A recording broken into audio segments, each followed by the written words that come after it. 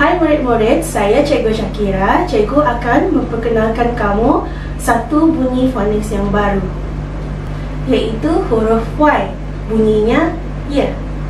Ya. Macam mana tulis ya?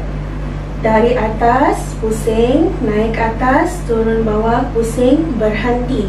Sekali lagi, dari atas, pusing, naik atas, turun bawah, pusing, berhenti. Mari kita tulis di udara.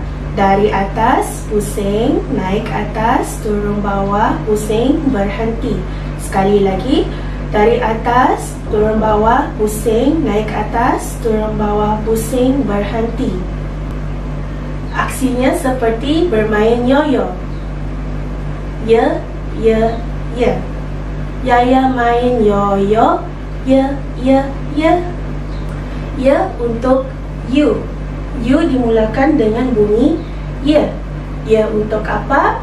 Ya untuk you. Hiu ialah seekor binatang air yang tinggal di dalam laut. Lain hari kamu akan belajar bunyi fonik yang baru lagi.